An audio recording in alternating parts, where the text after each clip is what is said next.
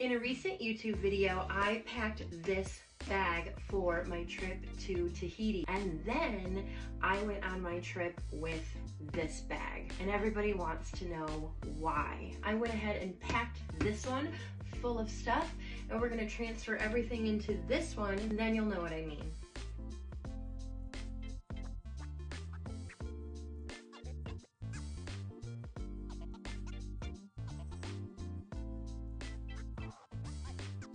You guys, there's not really any room at what if I want to buy stuff? And with this bag, I was able to bring home so much stuff and pack way more effortlessly every single time. And I went on a lot of flights. Check out my unpacking video on YouTube right now and you can see everything I used and didn't use and how I packed in this bag to come home.